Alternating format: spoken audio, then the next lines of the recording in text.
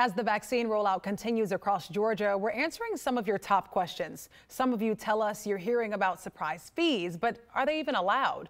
Liza Lucas verifies.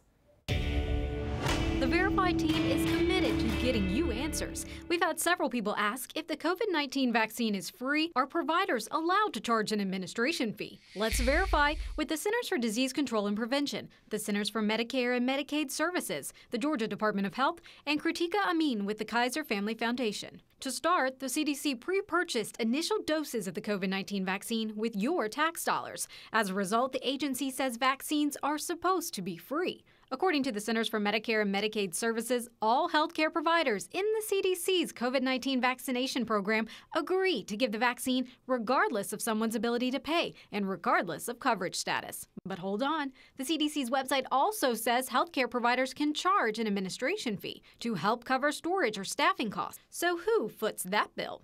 Federal rules let providers bill public and private insurance companies for the cost of administering the vaccines. If someone is not insured, the government's Provider Relief Fund is supposed to cover the cost. There are really no loopholes here. The providers will have their costs covered either through the insurance or the federal government fund. They might ask you for your insurance information if you're insured, but you will not be charged for anything. The Georgia Department of Health also confirmed there should be no out of pocket costs for someone getting the vaccine. But if your doctor's visit includes medical needs beyond the vaccine, that's when you could face a separate charge. If you're getting another procedure done, there might be a bill associated with that. But for the COVID vaccine itself, people will not get charged. So are providers allowed to charge an administration fee? Our sources confirm yes, that's allowed. But that fee should be paid by insurance companies or the federal government's relief fund, not by those needing the vaccine.